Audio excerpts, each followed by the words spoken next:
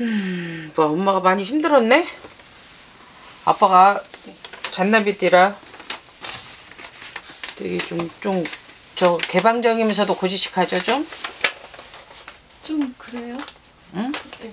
그죠? 성격으로 뭐 저희가 서로 뭐 트러블 생기는 건 없는데 내가 봤을 땐 각자 너는 너, 나는 나 각자 생활인데 편하게. 예, 그렇게 그렇게 사는 것 같아요. 응. 서로 개인플레이 편하게 사시는데? 예, 사치하는 건 없고 응. 대주가 내년에 들어오는 삼재네. 몸, 몸 아프다는 소리 안 하셔? 우리 누구요? 남편? 응. 글쎄요. 특별하게 그런 건 없는데 하긴 남자들은 뭐 일일이 얘기 안 하지. 네. 그죠?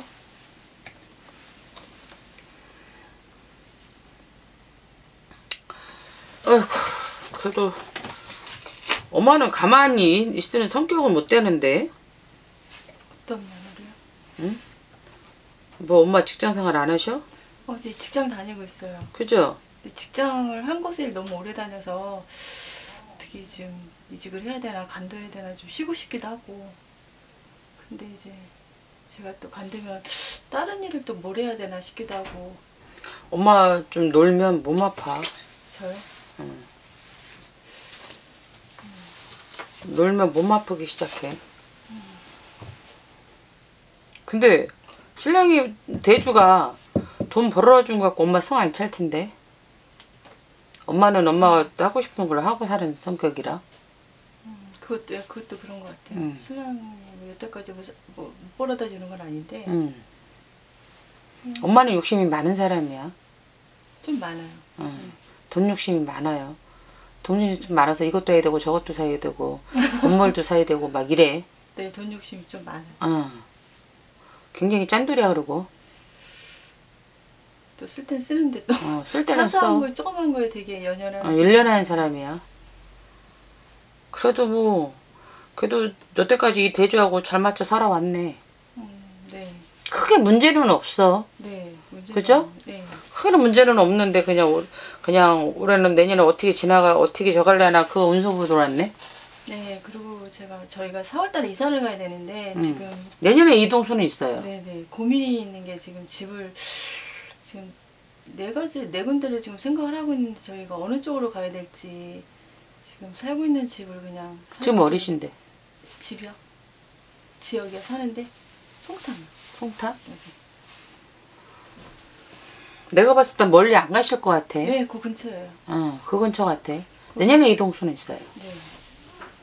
뭐 이사를 가셔야 되겠구만 뭐.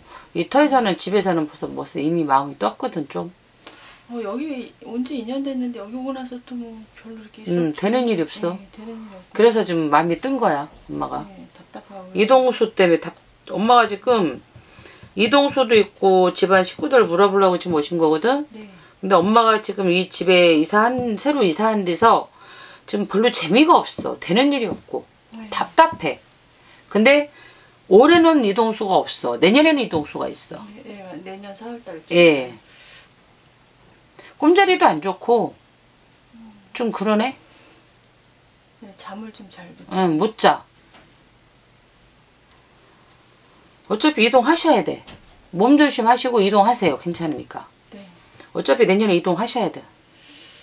네, 이사를 그 전에 살던 그냥 저희 집으로 갈지 아니면 다른 이제 그 윗집에 또 하나 있거든요. 엄마네 살던 엄마네 집에 또 살, 아니 그 윗집을 또 사야 될지 엄마랑 일단 같이 살아야 되니까 엄마가 지금 너 연로하셔서 같이 제가 왔다 갔다 모시고 이렇게 친정 엄마요? 친정 엄마요. 이렇게 하셔야 되는데 그래서 지, 지금도 사실 친정 엄마 근처로 이사를 온 거거든요. 응. 근데 그래서 엄마네 집이 넓지 않으세요? 엄마네 집이 좀 더 넓죠. 응. 38평이고 저희 이제 34평 옛날에 살던 집은 내가 봤을 때는 엄마하고 같이 들어 사실 것 같은데.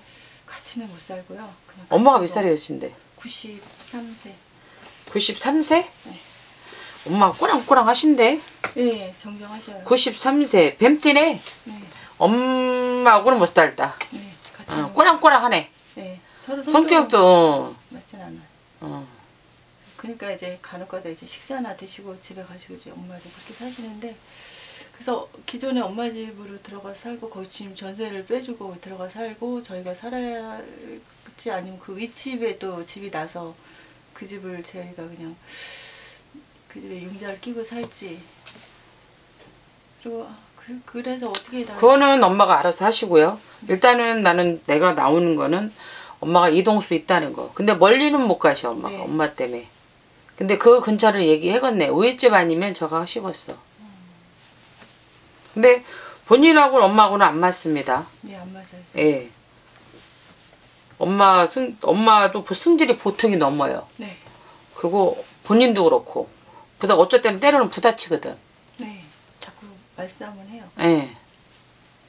당신 당신 주장대로 나가실라고 언니는 그게 아닌데 엄마 왜 그러냐고 막 그렇게 옥신각신 하기 때문에 엄마하고는 못 사, 못 살아요. 사위하고도 또 못 살지만 걔도 사위는 그래도 장모님이라고 또 저거 하시네. 네, 그냥 성격은 무난하니까. 음, 무난하시네.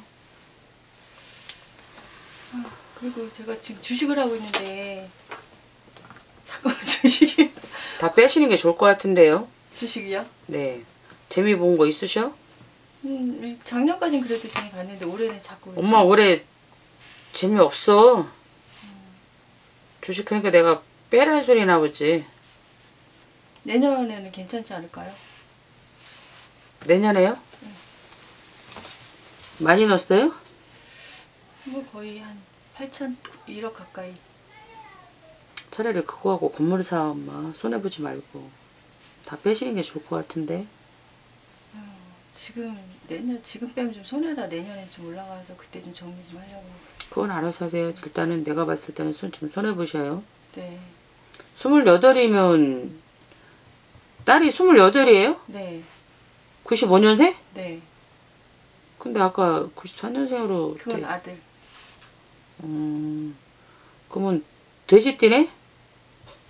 아들이요. 아니 딸은 개띠요. 개띠요? 95년생이라며 아 94년이요. 94년생 네. 그럼 스물아홉인데? 이제 올해 29 되는 거죠. 응.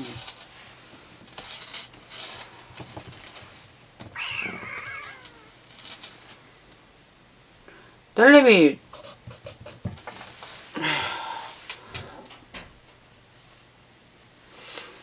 근데 주식을 저 가신다고 안 빼신다고? 지금 당장은 뺄 수 없고 얼마 손해 보셨어? 거의 여태까지 하는 건 거의 천만 원 정도, 천오백 많이는 아니고. 손해 보실 것 같은데. 알아서 해. 손해 손해 보실 것 같으니까 알아서 그럼 빼시든지 알아서 하세요. 내가 봤을 때는 지금 더 손해 보실 것 같아. 지금 어, 지금 또 엄마 지금 주식 좀 저거 하니까 저는 저는 돈 재수가 없나 보죠. 들어볼. 내년부터는 엄마 대운이 들어와요. 내년부터는. 아 진짜요? 예, 내년부터 성수 대운이 들어오긴 들어와요. 근데 주식 갖고는 아니거든. 근데 여기 딸내미 지금 직장 댕겨요?